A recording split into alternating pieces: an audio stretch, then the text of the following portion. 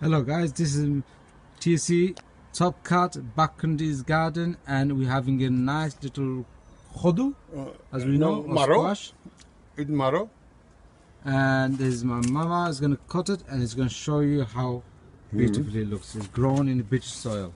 Nice. Look at that. Beautiful. Nice. Thank you. There's Thank more, you.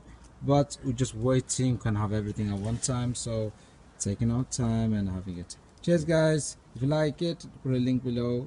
Give it a little. Very nice. Thank you. Thank you.